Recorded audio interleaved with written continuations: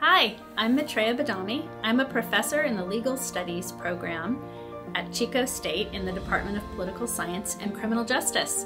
One thing that's great about the Legal Studies program is that most of our courses are designed to give you some kind of experiential learning in an area of law that you're studying.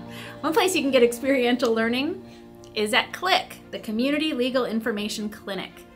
This is a legal information clinic that's been running for more than 50 years, staffed entirely by students who are supervised by four professors, and we provide legal information in 11 different program areas. I look forward to seeing you on campus.